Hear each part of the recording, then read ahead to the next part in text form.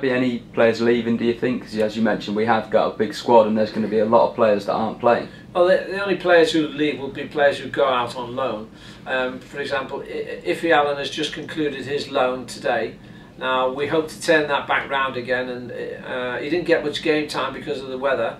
He'll be, uh, we'll turn that round and hopefully find another club that he can go on loan to. Jamal Lowe, uh, he'll go, uh, he'll, we'll turn him around. Uli and, uh, and Dick have seen him a number of times. Um, sadly, he's not played as many games on loan as we'd hoped. Um, I think he, you know, he was scoring goals at St Albans, but St Albans were doing very, very well, and I think that they've gone for continuity as opposed to you know bringing in a new player. So he's not played as much as we hoped there.